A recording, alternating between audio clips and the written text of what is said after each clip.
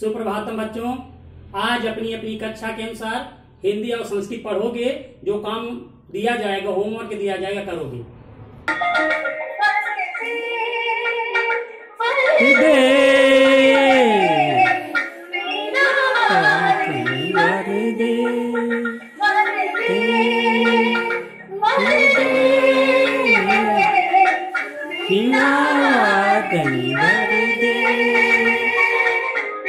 स्वतंत्र अमृत मंत्र नव स्वतंत्र अमृत मंत्र नव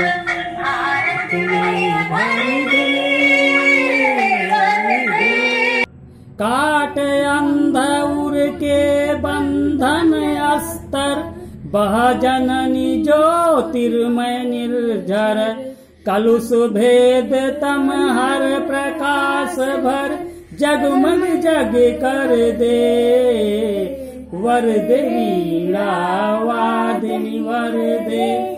वर दे वीणा वादिनी वर दे। नवगति नवलय ताल छंद नव। नवल कंठ नव, जलद मंद्र रव।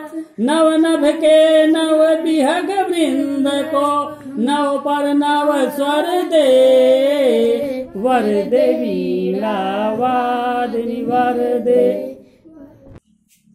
कक्षा आठ के छात्र कवि कक्षा आठ वाले छात्र दिए गए पाठ में तालाब का चित्र बनाएँगे और ये कविता याद करेंगे। वती सुर भारती ताओ चलो प्रणव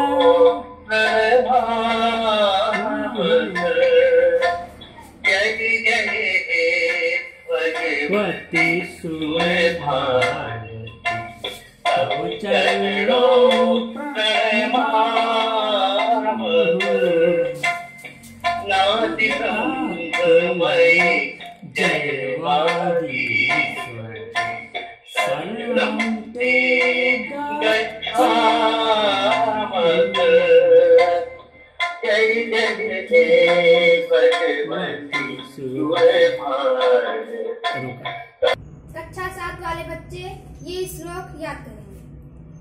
अब जागो जीवन के प्रभात, अब जागो। वसुधा पर ओस बने बिखरे हिम आँसू जो चोग भरे। उषा बटोरती अरुण गात, अब जागो। अब जागो जीवन के प्रभात, अब जागो। तम नैनों की ताराएँ सब मुंद रही किरण दल में। अब चल रहा सुखद यह मलयवात अब जागो जीवन के प्रभात, अब जागो। कक्षा सात वाले बच्चे ये कविता लिखेंगे। कक्षा छह वाले बच्चे मेरी तरह हिंदी बोलेंगे। जग जीवन में जो चिर महान, सौंदर्य पूर्ण और सत्य प्राण, मैं उसका प्रेमी बनू नाथ जो मानव के हित समान जिससे जीवन में मिले शक्ति छूटे भय संशय अंध भक्ति मैं वह प्रकाश बन सकूँ नाथ, मिल जाए जिसमें अखिल व्यक्ति।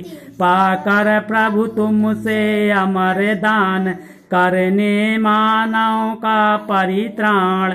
ला सकूँ विश्व में एक बार, फिर से नव जीवन का बिहान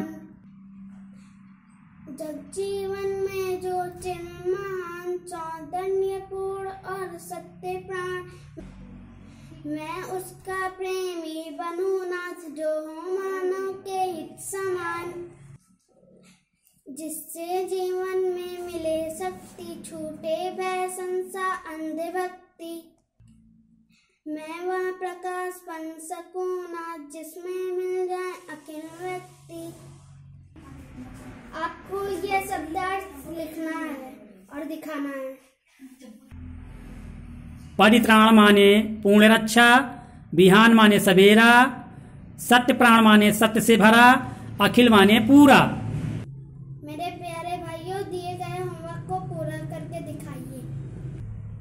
अगर वीडियो पसंद आए तो लाइक, सब्सक्राइब, शेयर कीजिए और कमेंट में लिखिए।